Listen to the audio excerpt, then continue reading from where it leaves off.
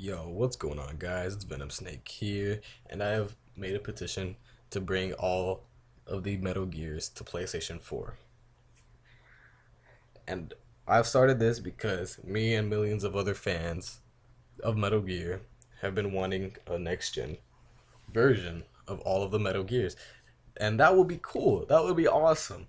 So I'm asking y'all to please sign this and get Konami's attention so they know, so they see this video or the position. That's all I have to see, and at least suggest, not suggest it, um, consider it. I would really hope to get Konami's consideration in all it's into remaking all the Metal Gear. Sorry if I stutter. I'm making this a one take. Um, so yeah, I'll leave a I'll leave a a link to the petition in the description. As you can see, my name right here. This fuck. Um. I'll leave a link in the position down below. And until my next video, peace.